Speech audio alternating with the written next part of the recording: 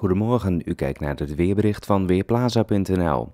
In de kustgebieden drijven soms wat wolkenvelden vanaf zee binnen, maar verder schijnt de zon geregeld. En die wolkenvelden zullen boven land ook wel overgaan in stapelwolken. In de rest van de dag is het dus geregeld zon. In de middag kan er in het binnenland wel een enkele bui tot ontwikkeling komen, maar op een heleboel plaatsen blijft het ook gewoon droog.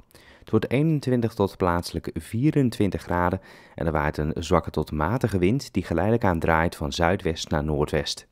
Ook vanavond zijn er brede opklaringen, de buien verdwijnen dan weer en zo halverwege de avond is het afgekoeld naar ongeveer 17 of 18 graden. Dan morgenochtend hebben we in eerste instantie flink wat zon, maar dan gaat de bewolking vanuit het westen toenemen en vanuit het noordwesten trekken ook een paar buien over het land. Er zijn ook plekken waar het droog blijft, wordt 21 of 22 graden en er waait een vrij stevige zuidwestelijke wind aan zee krachtig kracht 6.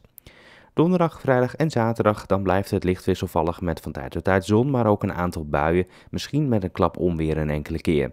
De middagtemperatuur ligt veelal rond de 21 of 22 graden en daarmee is het iets aan de koele kant. Ik ben Ben Langkamp van Weerplaza.nl